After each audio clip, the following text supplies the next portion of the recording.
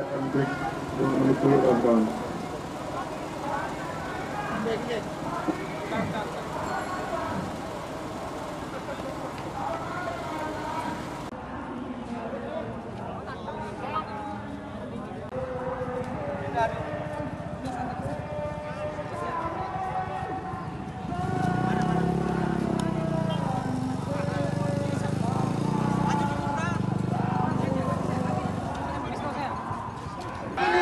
tidak layak, tidak patuh menentukan suatu kebijakan.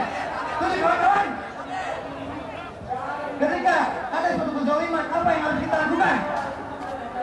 Rakyat yang dirampas tanahnya sebelum adanya omnibus law itu sudah terjadi.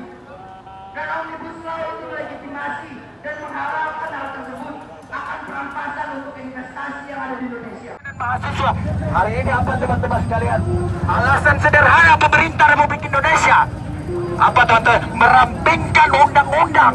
Tetapi ingat rakyat Indonesia setuju undang-undang harus dirampingkan. Tetapi jangan sampai menyampingkan kepentingan rakyat sepakat undang-undang omnibus law.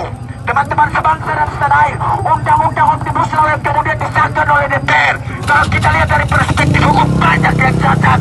Peraturan perundang-undangan tata cara per- perbuatan peraturan perundang-undangan. Hal itu dilompati oleh DPR sendiri teman-teman. Bayangkan di tengah reses pandemi di tengah masa reses dan pandemi hari ini DPR mencuri legitimasi untuk bagaimana mengesahkan undang-undang di tengah gelapnya masyarakat teman-teman sekalian. Ini yang kemudian menjadi pertanyaan. Perlu bahkan konstitusi kita teman-teman sekalian. Konstitusi kita teman-teman sekalian hari ini coba untuk kemudian disingkirkan